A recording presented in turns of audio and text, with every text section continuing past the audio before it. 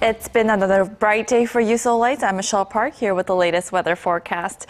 We started off with a chilly morning as usual. However, temperatures have already risen to 16 degrees in the capital and are expected to top out around 20.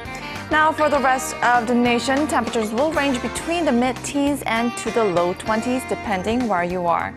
And it's been a sunny day with a nice breeze nationwide. And as you can see, we have mostly clear skies for now, but rain is in the forecast tomorrow, starting on the west coast and to the central regions. Uh, should start to see showers by early morning tomorrow. Now going over to our temperature readings, Seoul will peak at 20 this afternoon. Meanwhile, the southern cities such as Gwangju and Busan will see up to 21 and 22 degrees. And moving over to other regions, Jeju Island will see up to 20 as well, while Dokdo reaches 17, while Kumgang hits at 19. Well, that's all for now. I'm Michelle Park, and here's a look at the weather conditions around the world.